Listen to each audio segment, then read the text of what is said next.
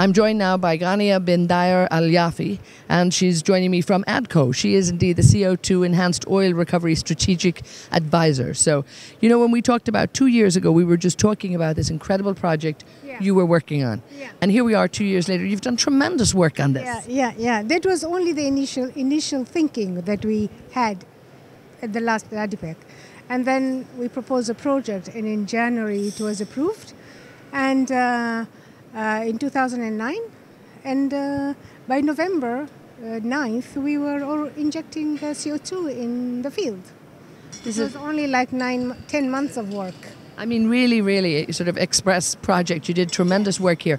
So you worked on getting your team together, getting all of this in place, and give us a feel for what you were doing in the reservoir. You were injecting water and CO2 there to, to flood the reservoir, really. Was that it? Ah, well, uh, this reservoir has uh, many phases. Uh, there is a developed phase of the reservoir which is injecting hydrocarbon and water alternately in, an, in a, another zone of the reservoir. But where we did the pilot, there was no water. It was just virgin oil reservoir. And it was uh, isolated so that the results of the injection would be not interfered with with the other activities in the reservoir. So this was uh, uh, an area that was uh, defined to be as original in its uh, properties as uh, possible. Now, you just conducted a, a very packed technical session in there, and people were just very, very interested and fascinated about what was going on. Give us a feel for what they wanted to know and what were the key questions they wanted. First of all, CO2 EOR is a, a very new concept. Not only is it a new concept in, in, you know, in our context, also in the whole world. If as I, you remember the map I showed uh, in my presentation, it's a map of the world, and uh, uh, we show Abu Dhabi as uh, implementing CO2 EOR.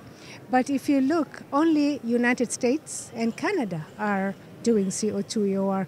No one else in the world, the rest of the world, is doing CO2 EOR. There is a lot of uh, carbon capture and storage, uh, which is sequestration.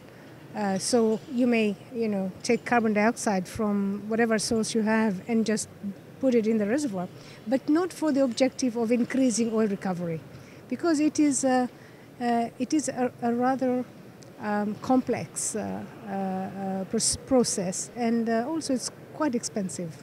And this, of course, the first time you've done it in Abu Dhabi and your tests and all the work you've done proving very successfully and enhancing oil recovery, something everybody really needs to do around the world when as the fields become more depleted. Yes, yes, yes. And, and that is maybe another answer to your question. Your first question is that people are interested because they want to implement the same.